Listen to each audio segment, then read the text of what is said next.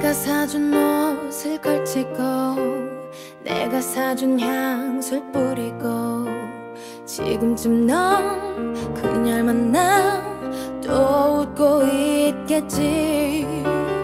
그렇게 좋았던 거니 날 버리고 떠날 만큼 얼마나 더 어떻게 더 잘해야 한 거니.